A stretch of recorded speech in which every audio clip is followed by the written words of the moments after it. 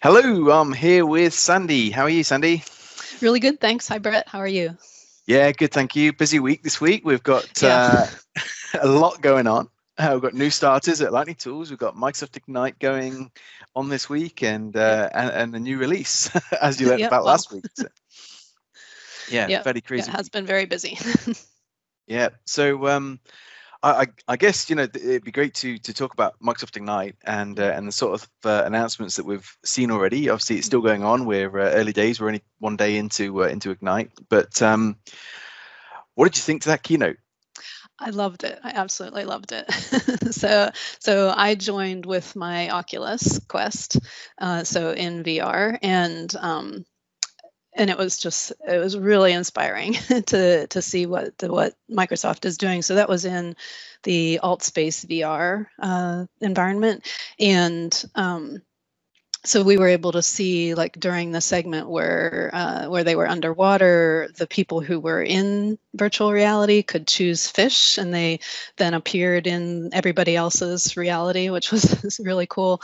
And then at the end when they had the the people from the cirque du soleil that were doing a um, their mixed reality sort of uh, program that they're working on. Um, those of us who were in VR, I don't know how it appeared to the people who weren't, but um, if you were in VR, then you could see, you know, like you went through this tunnel of lights, and then we could actually go out into this sort of beach area where the dancers were and there was a campfire and I, I heard somebody say it was they tuned in and it was just a bunch of hippies dancing or something but well, but it was yeah, really really cool so I was watching it on my laptop and sort of multitasking a little bit, and uh, and yeah, um, my wife came in and and she uh, she like looked at my screen because I thought you weren't done working yet. so yeah, this just thing going on with music blaring and everything on, on my laptop here. So but yeah, this is work. but but it was really cool to see what the capabilities are going to be, and then. Um, I found that so interesting that then I switched out my schedule later on in the day and attended a mesh session. Uh, so it was a developer session, which I'm not a developer, but um, but the the woman who was demoing the um, development toolkit was showing how you don't really have to use code to to create uh, environments that'll work with mesh, and they were talking about some of the technicalities behind uh, how the mesh environments are created and things, and uh, it was just really interesting. And um, the thing one thing that made me even more excited about how this can go forward in the future is when I I had been a couple weeks since I had put on my Oculus, and when I rebooted it to to join the session, I found that uh, I had gotten an update where now I could use my real hands rather than the controllers, and it was so so cool. I mean, I, I just just imagining the kinds of things that that you can do when um, when you've got the whole mixed reality environments and yeah. uh, and using real real reality with um, yeah yeah so I, I, guess if you know if you haven't seen um, yeah any of this technology yet uh, you know it, it, it's really great seeing it in VR. We um, so, so the keynote was basically done with uh, what looked like an auditorium um, mm-hmm. So you had the, the stage seating, and there was an mm-hmm. actual stage that was sunken. You were looking down on that with a presenter that wasn't, you know, just a character or anything like that. He was a an actual person um, mm-hmm. presenting, but on a you know vi- a virtual stage surrounded by an aquarium. So there was literally like a whale swimming around him and other fish and so on. And then he was showing the capabilities by switching into different environments and, and things like that, which was uh, yeah really powerful. And mm-hmm. then yeah, the, uh, the the AltSpace VR stuff. Um, you basically had the normal type of people um, that were you know sat in the the, the galleried seating, um, so they could interact with each other as well and, mm. and things like that, and uh, mm. also provide feedback. So, I mean, this kind of thing was tried earlier um, last year as well at, at yep. the, uh, the, the, the collaboration yep. summit. So uh, so Adis Jugo, who's a, a Microsoft regional regional director and, and also a Microsoft MVP, he uh, was the founder of the uh, the collaboration summit and also Collab Days, but also put together a um, a networking event for sponsors of, of, of the conference. So that was all done using a similar technology. Um, but yeah, you were this uh, sort of avatar that you made up and you designed mm-hmm. that represented you, and you were able to walk around the different booths and, and talk to different vendors and things like that, and mm-hmm. also engage with each other. But this um, just you know, took it even further mm-hmm. by being able to see somebody um, that is a real person and and uh, presenting in that way it, mm-hmm. it's, it's great so I, I can see a real use for that you know um, as people are working remotely more. Um, you can imagine you know company meetings uh, and that mm-hmm. type of thing if you've got 500 attendees in a company meeting then everybody's working at home, this would certainly make it a, a much more engaging and mm. uh, mm-hmm. and better presentation. It'd be a, a, really good use of that technology, I think. So. Yeah, yeah, it's much it, as you say, it's much more engaging than like a t- screen full of people on Teams. Yep. Uh, that's that's what I had found at Collab Summit too, and like that's why I did my birthday party that way, and why yeah. I bought the Oculus really because it because it is much more like being with people Mm-hmm. Yeah, yeah, and, absolutely. And when yeah, and then when you get people as holograms too, that's even better. you know, and, and, people like this. It's, it's, it's one of the benefits. You know, Lightning Tools is a company that is very distributed anyway, and pre-pandemic, um, you know, if ever we had. Uh, uh, leaving do or a celebration, it's not like the whole company could always get together because you've got people distributed in different countries.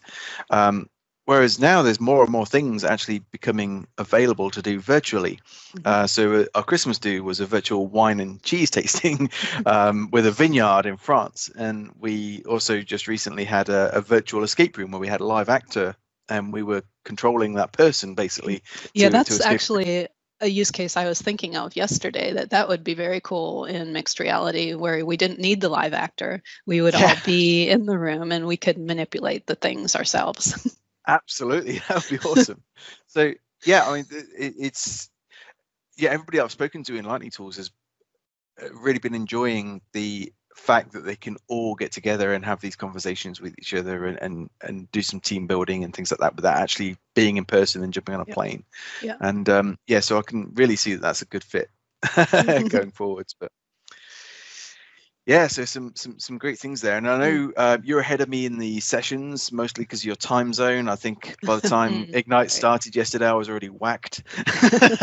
but uh, I've got a whole bunch of sessions all lined up in my backpack, my virtual backpack to watch. But cool. you've attended some already, so what's been your favorite announcement so far? Um, well, besides Microsoft Mesh, um, then I guess I would say the other thing that I'm especially excited about in the Power Platform, which is kind of the area that I focus in aside from SharePoint and Teams, um, is the availability of uh, Power Automate Desktop uh, included with Windows 10 now. So, so currently you can go download it um, as of yesterday, I believe. um, and then you can automate things. So that's one of um, the remote desktop, um, yeah, uh, RPA, robotic process automation uh, offerings that Microsoft has had for a while, but it involved a pretty hefty license previously to to use that but now you can use it for personal use by just downloading it being able to automate things on your desktop. So that could include uh, you know i'm busy trying to think of some use cases uh, so i can test it out because i haven't really been able to play with it in the past because i don't have a license for it. But um, you can do things with your files, like with Excel files that exist just on your desktop, rather than needing to use uh, Cloudflow to work with Excel files that are in OneDrive, for example, um, or just or other things where you're opening browsers and doing things with websites and stuff like that. Um, so I'm really excited to try that out there. I think they said there are something like 400 different actions that you can do, um, and then you can integrate it with Cloud Flows as well, and that would be for an extra license, but but still, just the fact of being able to have a um, an automation tool. Um, so it's sort of similar to Selenium, I think. Really, like you could do things like that with it too, um, but it's free with Windows. That sounds fantastic. Mm-hmm. yeah, and uh, yeah, hopefully a, a, lot more people are going to start taking advantage of that. So, yeah, yeah, yeah. That's what their object is, uh, according to the announcement. Is it's you know empowering more people to to do more with that. Yep. Yeah. Mm-hmm. Uh, Great. excellent. Um, and I saw something about a, uh, a, a Microsoft FX, the uh, mm. uh, expression Power, language. Power FX. Power FX, yeah. Mm-hmm. Yeah. Yeah. So, so that FX, but FX. Yes, right. yeah. yeah. Yeah. Just to be clear. Yeah. So that's um a new language, I guess, a new in quotes, air quotes, because um, it's basically the existing uh, language that's used in Power Apps currently to uh, create formulas. And that's going to eventually be extended to the other parts of the Power Platform to Power Automate, Power Virtual Agents, and Power BI um, to kind of bring those into a cohesive way of expressing things, but then also extended in Power Apps as well, like being able to create. Um, I'm trying to think of the term that they use, but uh, like where you can define a, a function right in that formula and things like that. So yeah, that that's also as exciting. So just in the fact of creating a unified um, syntax across the platform. Yeah. Because that's oh. been difficult for a lot of people. I work with a lot of people who are just starting out in Power Platform, and that's confusing to have to go from the way you express things in Power Apps to the way you have to express things in Power Automate, for example. Yeah, uh, uh it sounds like you know that's been a barrier from a lot of people using things like Power Apps mm. um, mm. as, as well as just getting the head around the language. So if you've got to do that differently in each mm. in each platform, then that's going to be even more confusing. Mm. So, uh, yeah. so yeah, I mean, it's mostly still Excel-ish. I, mm-hmm. I mean, that um, formula editor in Power Apps is pretty close to Excel. It's a lot of the same functions, um, but yeah. So then everything will be Excel-ish. Cool. That sounds good. How about you? What do you think about what you've seen so far? Yeah. So um, I'm kind of interested uh, in the the whole Teams stuff, um, and and also the Microsoft Viva. Uh, I mean, that's uh, my area, I guess. So, um, yeah, with, with, with, Teams, I mean, actually, this is quite often uh, the announcements are things that don't really affect us as a company, but affect our customers. Um, or, or the way that we develop our products or, or, something for our customers. And what's nice actually is is something that I really want to get my hands on now uh, that will benefit us and, and Lightning Tools, and that is um, about the webinars. So yeah, mm. we've uh, we, have been um, ever since almost day one of Lightning Tools, we've been using uh, GoToMeeting and GoToWebinar uh, to, to deliver our webinars.